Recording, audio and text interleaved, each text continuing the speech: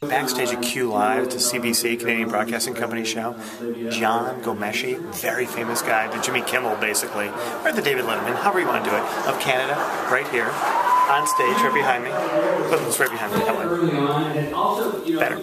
Seth Meyers is out there right now. Donald Trump said recently has a great relationship with the blacks. Though unless the blacks are a family of white people, I bet he's mistaken. I'm on a show with Seth Meyers. What the hell am I doing here on a show with Seth Meyers? Jeffrey Ross is here. Who gives a shit? But Donald Trump is sitting there. You wouldn't know this at the time you were on I had no idea. Stone faced. He And was. also an awkward C-SPAN angle that had him at a dead profile. Here's the kitchen. I think butterflies are good. And sound. We always say that the radio the sound. worst hosts on our show are the ones that are never nervous. Like when it's before the show. Maybe they're mixing the sound. Oh, it's the radio show. Very big radio show. Come on. This is uh, a door. And I think that's probably where the butterflies a door. come from. You're only as good as your last two. I think that what I think Now, that this right here, this is a cork board. Uh, they, they take tacks like this and they put them in like over pieces of paper to keep the paper there.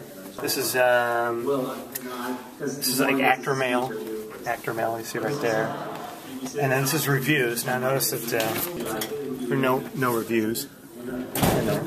So like this. This is one of the producers. Great guy. This is the dressing room. This is what goes on. It's Lonnie Brooks.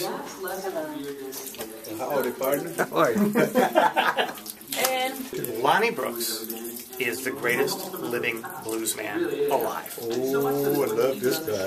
Look at this. Do you have to be depressed to write the blues? No. Can you be happy and write the list? Sure you can. Just know what it is. You, you, you can write.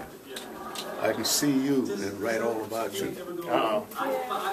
And so, without further ado, our specially convened Chicago media panel. To my right, a lifelong Chicagoan who's been one of the city's top rated radio personalities for the last two decades, host of The Roe Conn Show with Richard Roeper on Chicago's WLS Radio. Roe Conn.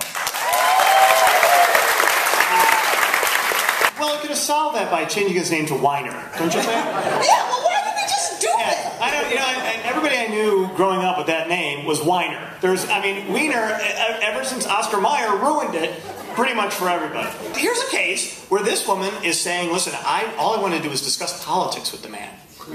And the next thing you know, he's sending me pictures of his junk. Before Roe comes back, can you give us an honest assessment of his performance here tonight, do you think? Uh, okay, uh, with star rating, or I mean, I could just throw the adjectives like prolific, uh, All the above. phenomenal. Uh, Roe Conn should be a regular on the show probably by this point because that performance is just like mind blowing. Thank you, sir.